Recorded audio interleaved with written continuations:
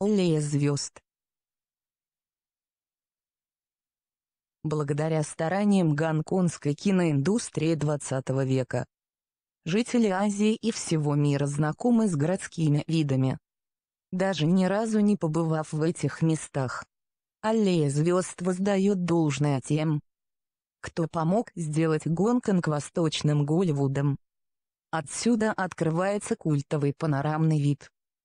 Силуэты небоскреба и пика на фоне неба вместе составляют нереальное сочетание города и природного ландшафта с мемориальными плитами, отпечатками рук знаменитостей, памятными вещами из фильмов. Статуи героя фильмов о кунг-фу Брюсселе, Бруке Ле, в натуральную величину и бронзовым изображением популярного мультгероя Магдала, Магдулу. Аллея звезд сочетает гламур гонконгской киноиндустрии с сияющим блеском гавани Виктория, Викторио.